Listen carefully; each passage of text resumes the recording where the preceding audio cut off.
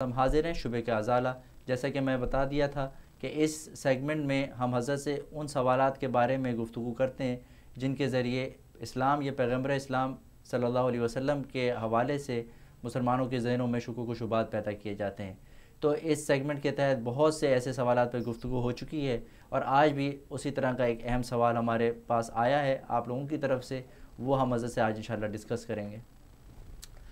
हज़रत, ये हिंदू जो हैं ये हमारे मुसलमानों से एतराज़ करते हैं कि आप, हम अगर किसी मूर्ति के आगे हम झुकें और मूर्ति की हम इबादत करें तो आप इसको शिरक कहते हैं, जबकि ख़ुद आप हज के मौके पर ख़ास तौर पर सा इतने लोग उसे एक बैतुल्ला के लिए जमा होते हैं, जो कि गैरुल्ला है, और उसके गिर चक्कर काटते हैं, उसके आगे झुकते हैं। आप अभी भी अगर नमाज़ पढ़ेंगे तो उसी के लिए, उसी की तरफ़ झुकेंगे।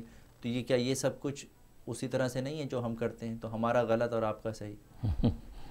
नहीं, असल में ये बड़ा मिसकनसप्शन है, क्योंकि उनके मूर्ति को सजदा करने और हमारे बैतुल्ला की तरफ़ सजदा करने और तवाफ़ करने में आसमान ज़मीन का फ़र्क है। इसलिए कि हम ईंट और पत्थर के उस मकान को, उस कोठे को सजदा असल में नहीं करते।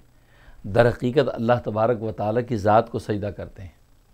और अल्लाह तबारक व ताली की ज़ात चूँकि बहुत बड़ी है, वो उसको एक जगह पर समोया नहीं जा सकता, क्योंकि वो जहद से जो है वो आज़ाद है वो मशी मगरब, शुमाल, जनूब, ऊपर, नीचे, हर तरफ़ फैली हुई है।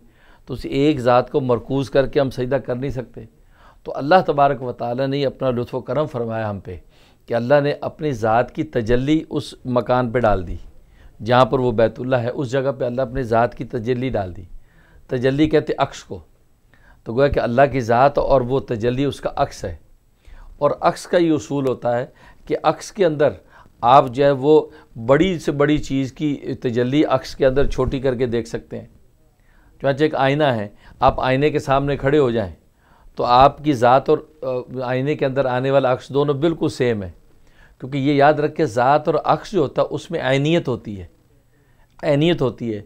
लिहाजा आप आईने के सामने खड़े होकर हंसें तो वो अक्स भी हंसेगा। आप रोएँ तो अक्स भी रोएगा। आप हरकत करें, वो अक्स भी हरकत करेगा। क्योंकि दोनों में आयनीत है।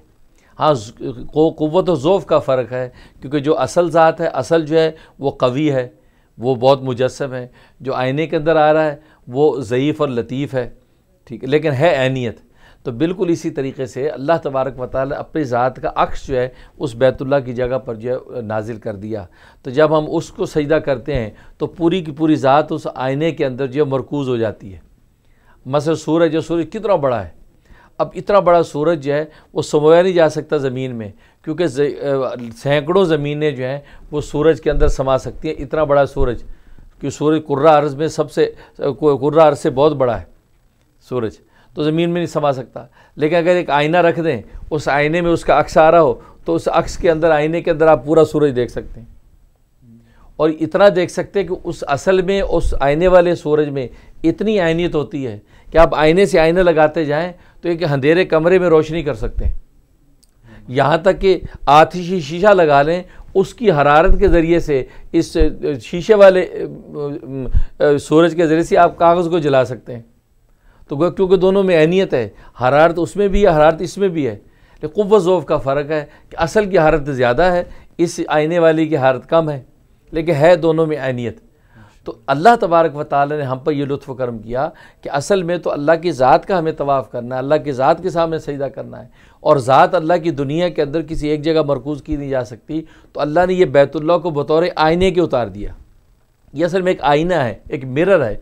इस मिरर में अल्लाह ने अपनी ज़ात की तजली डाल दी, उसके अंदर अल्लाह की ज़ात की तजली जब मरकूज़ हो गई, अब हम जब सजदा करते तो असल में उस अल्लाह के ज़ात के अक्स को सजदा करते तो उसको सजदा करना ऐसा है, जैसे ऐन को सजदा करना। क्योंकि मैंने बताया कि वो अक्स जो है तो ज़ात का ऐन होता है। तो ऐन खुदा को सजदा हम कर रहे हैं। यही वजह है कि हम अगर बैतुल्ला के ऊपर खड़े हों तो भी सजदा करें तो सामने तो बैतुल्ला नहीं है।